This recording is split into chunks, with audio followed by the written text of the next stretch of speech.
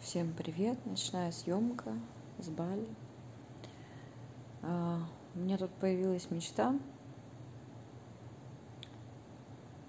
в связи с обретением огромной силы разъебать всю систему образования детей наших. Потому что реально классическая система, она просто не подходит. У меня ребенку 11 лет, будет 12 летом, он просто сопротивляется ходить в школу. Он говорит, почему мне ставят оценки по рисованию, по пению? Как, блядь, они могут меня оценивать? Типа, может, я не в творческом настроении, а может, у меня талант, я не знаю, в футболе или в математике, да? Какого хера? Вот. И я согласна с этим.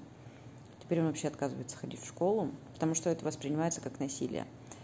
А если раньше он схватывал английский, там вообще мы где-то путешествуем на раз-два, то теперь из-за непринятия учителя, и так как его заставляют изучать английский, у него вообще полное противостояние. Хотя у него офигенный слух, он любой язык мог маленький воспроизводить вообще по звуку идентично, неважно, немецкий, испанский, английский.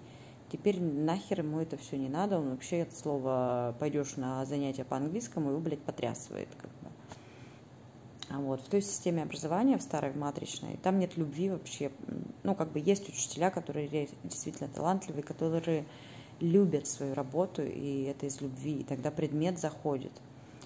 Но если это вот обязаловка такая, что для ребенка, что для учителя, ну это просто пиздец. Это не удовольствие, это какое-то, получается, мучение, что для одних, что для тех, поэтому учителя бывают орут на детей, поэтому дети отказываются ходить в школу или становятся там как бы неинтересно двоечниками, я думаю, в этом кроется весь секрет.